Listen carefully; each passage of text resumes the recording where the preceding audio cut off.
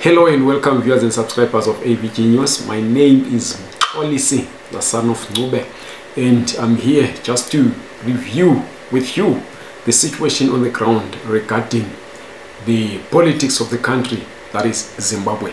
Uh, you will know that there's been a lot happening, uh, especially within what was the mainstream opposition party, which was Triple C, uh, which was being led by Advocate Nelson Chamisa. But you'll know that following a number of recalls that were effected by a man called Sengezo Tshabangu, who claimed that he was the interim secretary general of the party, a lot has been happening. There's been a number of issues within and without the party, uh, especially uh, following the resignation of Advocate Nelson Chamisa, who is contemplating uh, forming another movement. Uh, he calls it a movement. He hasn't named it as yet what is going to be called, but in a number of interviews with some TV stations, especially here in South Africa, he has said that he wants to form a new citizens movement. Uh, we don't know the name yet, but it seems like there is a number of people that are loyal to Nelson Chamisa. We have also left Triple C and are spearheading this movement, and they seem to be adopting the color of dark yellow.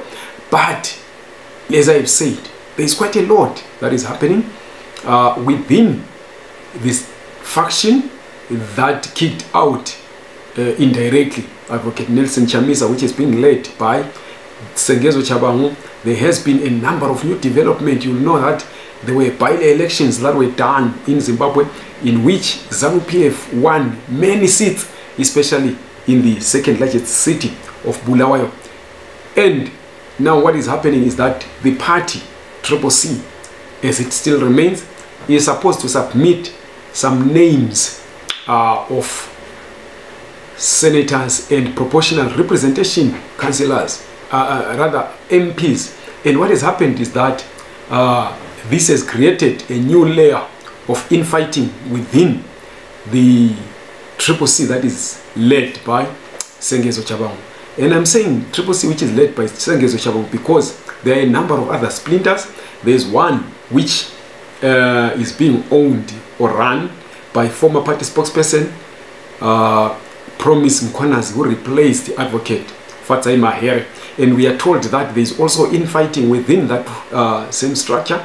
Uh, Mkwananzi had said that he is taking over as the acting president and then he handed over to Mr. Jameson Timba who has not said anything after he was handed uh, the party leadership. But now what we are getting is that there is a fight over social media handles of the party because uh, other cadres who are loyal to Advocate Nelson Chamisa, and these include uh, Gift Ostallos Siziba and Amos Chibaya, are said to be trying to get hold of the Twitter handles, like the X handles rather, uh, of the party, which is which are still written Triple C, and they want to change and rename them according to what this new movement is going to be called. But now we are told that uh, Mr. Mkwananzi is adamant that he's not going to hand over uh, that ex-handler because he still is uh, a member of Triple C, and he says that there is a structure of Triple C that is being led by Jameson Timba. Well, going back again to the one that is being led by Sengezo Chabang or where uh, the handlers of Sengezo Chabang are, there has been, after the submission of these names, because there are allegations that when Chabang was given some names to go and submit, he, he changed them uh, privately, he wrote his own names, which we are told he has submitted. We don't know as yet uh, for certain if those new names that he has submitted, which include his own name, have been accepted by the Speaker of Parliament. But what we are getting is that there are a number of audios where you will remember the name Soneni Moyo. Uh, that is the lady who once took Ostalo Siziba to, to task, claiming that he had attacked her, that he had insulted her, accusing him of being disres disrespectful uh, of women and a number of other things. So now there is a, number of audios where this lady is also insulting a number of people. She's laying a number of accusations against some people within Triple C. He doesn't, she doesn't uh, necessarily accuse Sengezo Tshabangu of these things, which include promiscuity, which include uh, sex for favors within the party. She's claiming that the names of the women that were submitted to as proportional representation uh, representatives of Triple C in parliament uh, were chosen according to who slept with who. She's even making uh, widespread claims of one of uh, the Triple C male members having bedded three women who were paid with positions in parliament and she says one of them has got three girlfriends of his that are now uh, in parliament and she says that she doesn't need to do that. She, she's even saying that if had she allowed herself to be bedded by one of these guys she would be in parliament right now or her name would have been submitted because she claims that her name was taken out alongside a number of other names because she refused to sleep with these uh, predators within the party.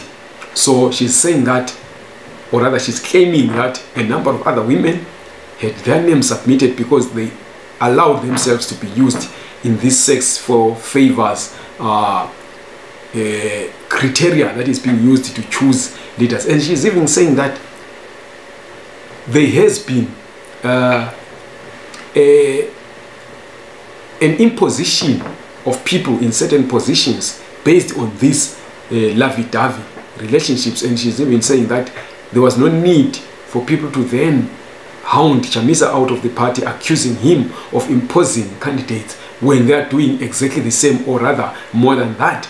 And she's prepared to even come out in the open and uh, lay these claims uh, in public and uh, even stand for them. This is what she's saying. She's even insulting some people, among them former Bulawayo deputy mayor, uh, who happens to be in one of these um, chat groups of the party. So this now takes us to the motive behind the fights within Triple C. You will remember that uh, when these things started, before the party even imploded, I came here, I made some videos, some of them were live, stating that for as long as we have parties that in Zimbabwe do not stand for anything, parties which do not subscribe to any philosophy, to any political philosophy, parties which do not uh, push any